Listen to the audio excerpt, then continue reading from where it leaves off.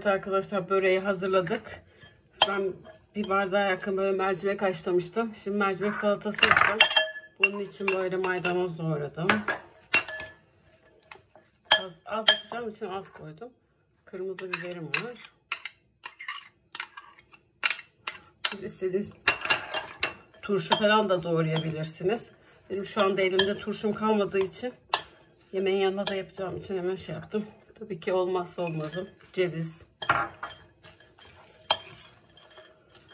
Çok bereketli bir salata oluyor ve ben bunu çok seviyorum. Damak zevkinize göre.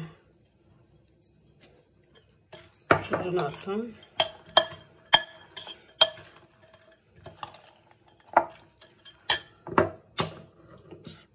Nar ekşisi.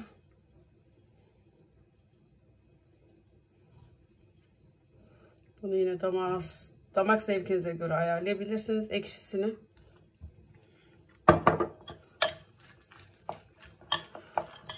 Çok yakışıyor. Ve zeytinyağı.